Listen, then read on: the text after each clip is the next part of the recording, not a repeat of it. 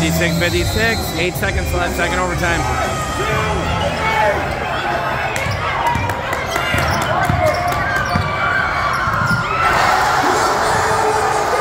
Griffin wins it.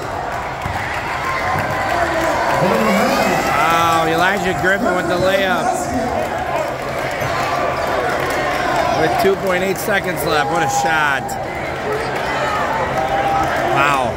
Wow. 58-56 Westosha. You knew you knew one of these was going to fall for him. They had a nice play drawn up there. And he just took it to the hole.